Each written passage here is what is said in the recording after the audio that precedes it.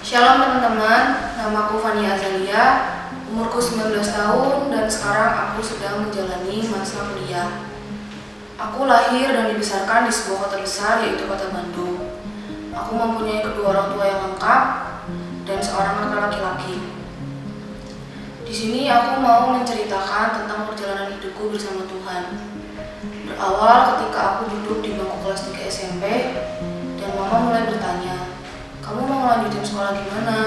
Dan aku jawab kalau aku mau lanjutin sekolah di Bandung. Kemudian sampai tibalah liburan ujian nasional, mama kembali menanyakan hal itu. Dan aku masih menjawab dengan jawaban yang sama. Aku memilih untuk melanjutkan sekolahku di Bandung.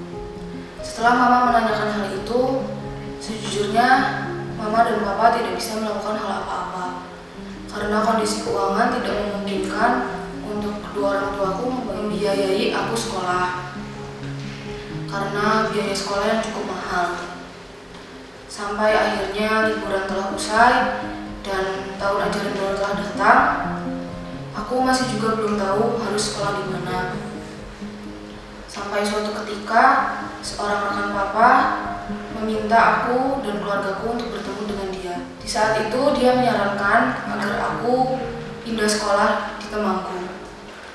Dan mendengar hal itu, kedua orang tuaku setuju dan mulai membujuk agar aku mau pindah di Temanggung.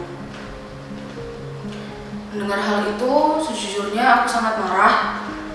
Aku berpikir kalau aku yang akan sekolah, tapi kenapa harus orang lain yang memilih tempat untuk aku bersekolah? Saat itu juga aku berpikir kalau aku pindah, aku harus membiasakan aku hidup di sebuah kota kecil yang sangat berbeda jauh dengan Bandung. Aku juga harus hidup mandiri, aku harus jauh dengan keluargaku. Aku mulai kecewa dengan Tuhan, kenapa harus aku yang mengalami hal ini? Hari demi hari berlalu, dan aku masih merasakan kemarahan itu. Tetapi pada akhirnya aku memilih untuk pindah sekolah di Temanggung. Meskipun dengan perasaan yang terpaksa. Dan sesampainya aku di Temanggung, aku dan keluargaku langsung ke sekolah untuk melihat sekolah dan asrama yang akan aku tempati. Ketika aku melihat sekolah itu, aku kembali merasakan bahwa diriku down. Aku kembali marah, aku kembali merasakan kecewa, dan aku kembali bertanya kenapa harus aku yang mengalami hal ini. Setelah itu, mama mulai menyuruhku untuk tinggal di asrama. Tapi aku merasa bahwa aku belum siap dan aku memilih untuk tinggal sementara bersama keluargaku di Temanggung. Beberapa hari berlalu dan mama kembali lagi untuk menyuruh aku tinggal di asrama. Akhirnya aku memutuskan dan mempush diriku untuk membiasakan di kehidupanku yang baru dan lingkungan yang baru juga.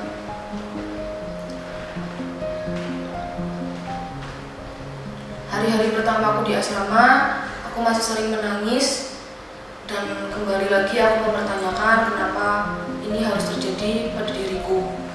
Tapi aku terus melalui hari-hari itu dan aku mulai membiasakan diriku dengan lingkungan yang baru dan aku juga mulai nyaman dengan kehidupanku ini meskipun sejujurnya di dalam lubuk hatiku yang paling dalam aku masih ingin memberontak dan aku masih ingin kembali pulang ke Bandung. Kemudian beberapa bulan setelah itu sesuatu hal harus aku urus di Bandung dan aku akhirnya memutuskan untuk kembali pulang ke Bandung selama beberapa hari. Aku pulang dengan menggunakan travel dan aku duduk di kursi bagian depan sebelah supir. Selama perjalanan pulang, aku tidur dengan sangat lelap.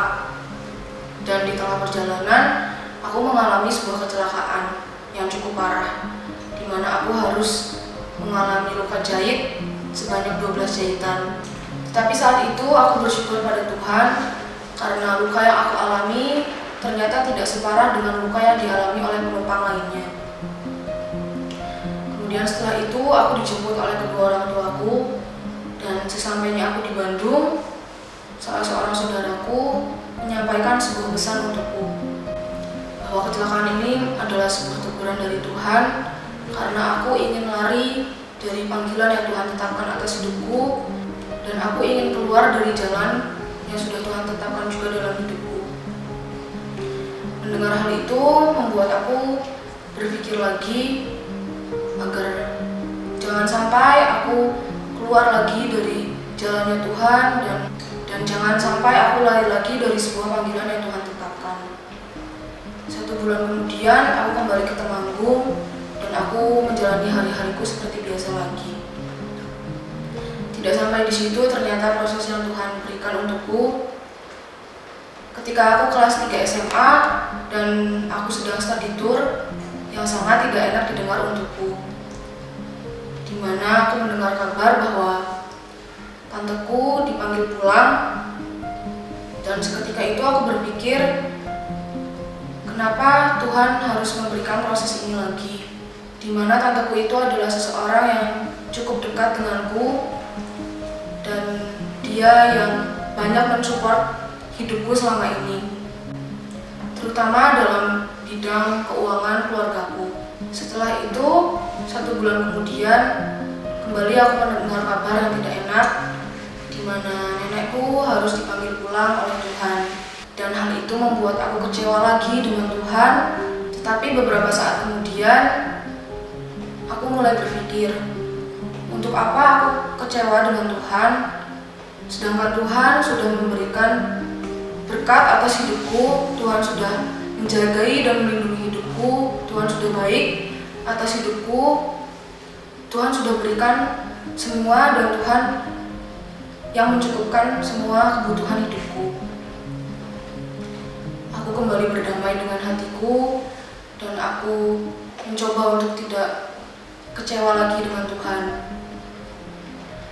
Kemudian beberapa saat setelah itu kelulusan tiba.